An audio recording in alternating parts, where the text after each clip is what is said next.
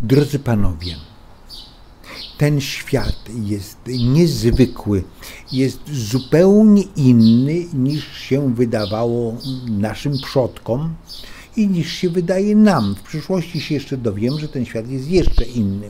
Ale dziś w nocy była burza. Była burza, były błyskawice, były grzmoty i, i tak się zastanawiałem nad tym, jak musiała być to potworna rzecz dla ludzi którzy żyli w XVI, XVII wieku, kiedy jeszcze nie było wiadomo, że to są po prostu wyładowania elektryczne na dużą skalę. No i oni byli święcie przekonani, że to jest gniew bogów.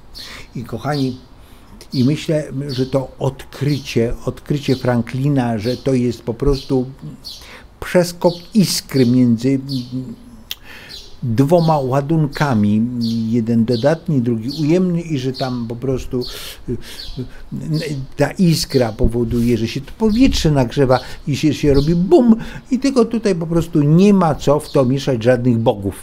I kochani, i tak do mnie doszło, że równie ogromnym odkryciem zmieniającym życie ludzkie i podejście y, odbierający ten potworny lęk przed nieznanym, to było odkrycie hormonów. My współcześnie już wiemy, że istnieją hormony i że kobiety też działają pod wpływem hormonów. To znaczy u kobiety te hormony w jakichś 90 paru procentach, dokładnie jeszcze nie wiadomo w ilu, ale na pewno w paru, w dużym paru, wpływają na nastrój, zachowanie, na, na sposób życia kobiety i te hormony wpływają oczywiście w ogromnym stopniu tak samo na samców gatunku Homo sapiens. W ogóle te hormony to po odkryciu ich możemy stwierdzić, że my tak naprawdę to w niewielkim stopniu sami decydujemy o naszym życiu, a w większości decydują hormony. I dlatego, kochani, wcale bym się nie zdziwił, że w przyszłości,